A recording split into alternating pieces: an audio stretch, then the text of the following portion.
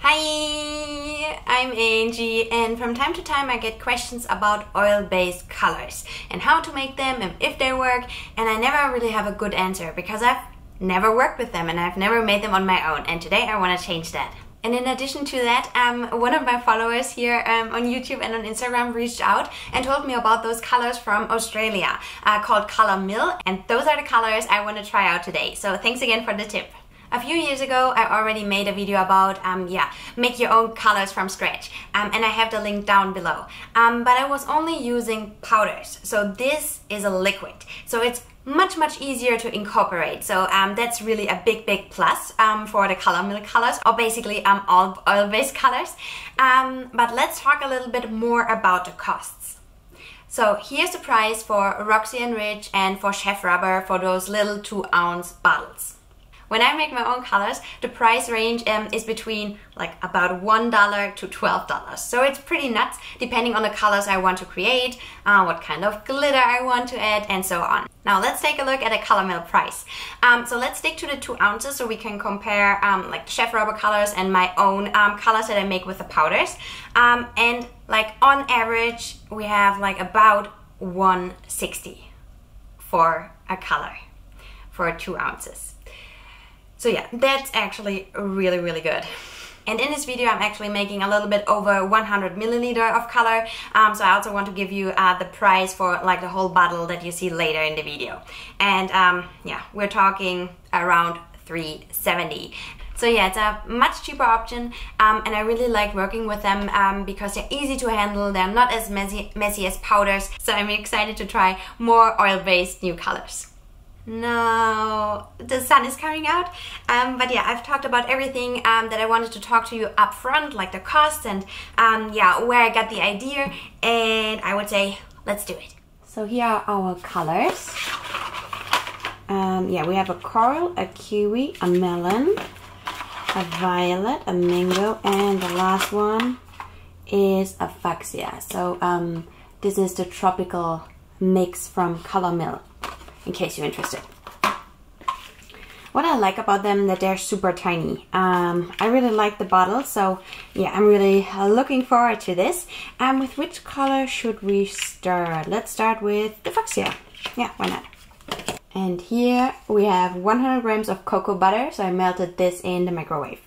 And now we're starting with dropping in some of the fuchsia just to let you know, I already stained my hands pretty badly when I was, um, yeah, uh, getting rid of this little cap on top. Um, I'm not sure if it's getting off really easily. I've already washed my hands, but yeah, just so you know. Um, good.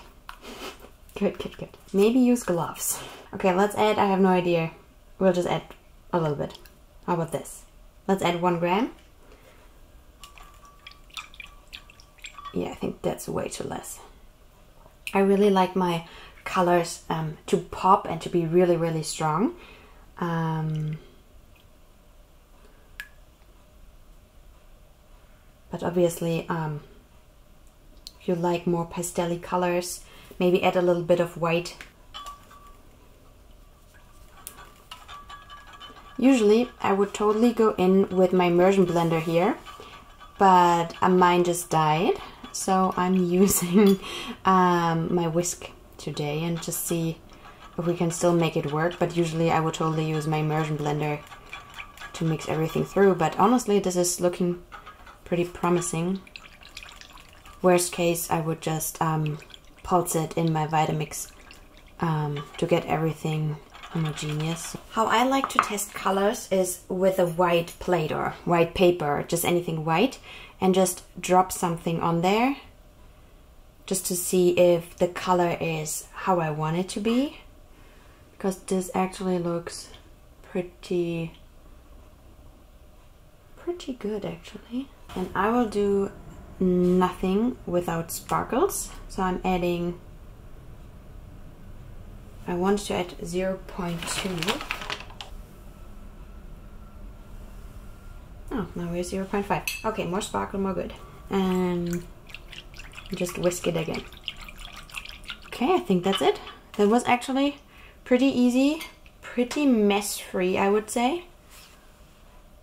I like to use empty um, Chef Rubber or Roxy Rich bottles for my own colors, um, but I only have three of them today. So I will also use um, smaller mugs um, and um, yeah, we'll just uh, put it in here, add a lid on, and whenever I have um, more free bottles, I will just, yeah, refill them and then we should be good to go. So that just that you know, you will also see me using Max today.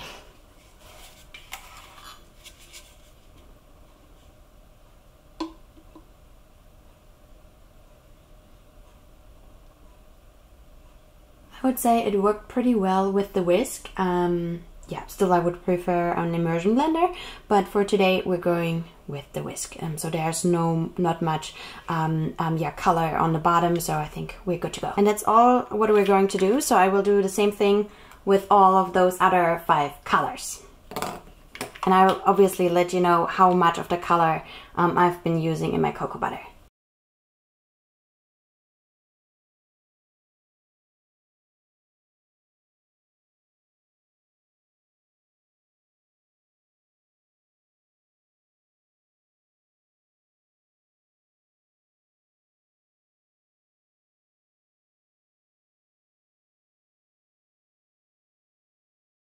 Okay, let's do the last one together. The last one is our mango here. And what I realized when I made the other colors is I don't think that you really need an immersion blender. I'm wondering if you could just, um, yeah, put the cocoa butter and the color into a bottle and then shake it really, really, really well. Um, and this might be even enough um, to get a really homogeneous um, yeah color. So um, this is really really much much easier than um, what I'm doing right now with my with my powders with my colored powders. Um, so that's a big plus point. Yeah let's move forward with the last color. So I've been adding yeah between five and six grams. I'm hoping this is enough. Let's do six here because this is a lighter color What I like to do is um, let the colors run down and so I see how the color looks when it's like not a super thick layer.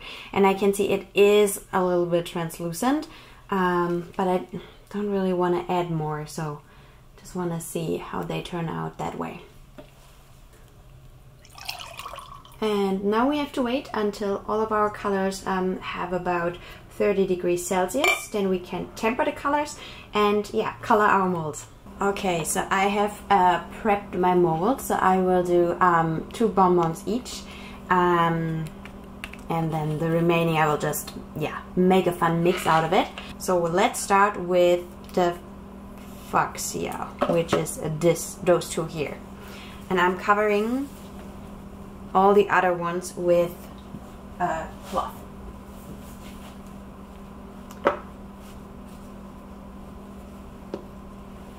Okay. And this is how I temper my colors and actually also all of my chocolate. I have some videos down uh, in the description below how I do it in uh, like detail, but those are cocoa seeds and they will um, yeah, temper my colors. And today I'm just going to use my toothbrush because um, yeah, not feeling anything else. Um, but I'm really going in with the color.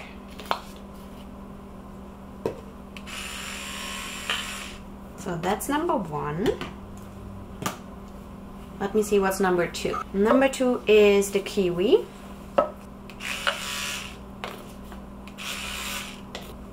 Now I believe we're doing violet. Yep.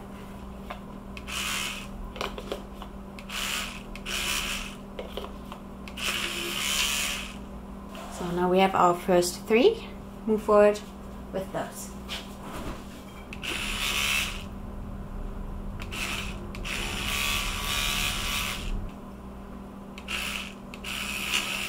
and the coral is our last one so yeah here we are um, we have our six colors and those I will just randomly go in and yeah make something fun and co colorful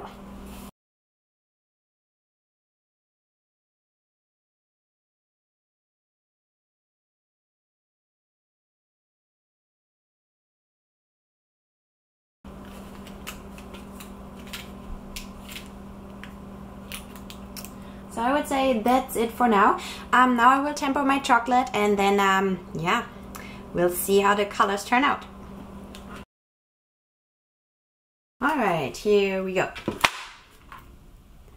Oh, are they all coming out? No, because they need to stay in their place. Wait. Uh-oh. Okay, those two here, this one here. So this one here is the fuchsia.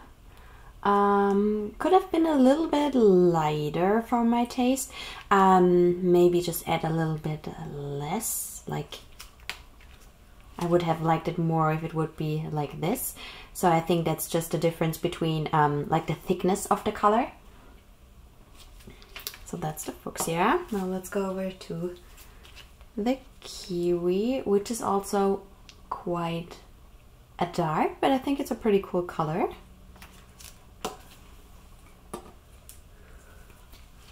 Then here's the violet, which I would say looks rather like a blue. It's a nice blue.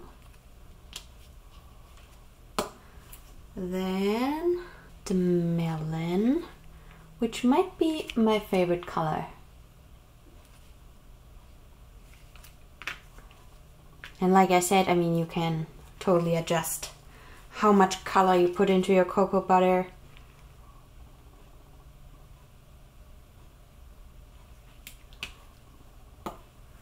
And the last one is the coral. Not bad. Really, really easy to handle. Um, yeah, here are just some random mixed ones. I think they look pretty cute.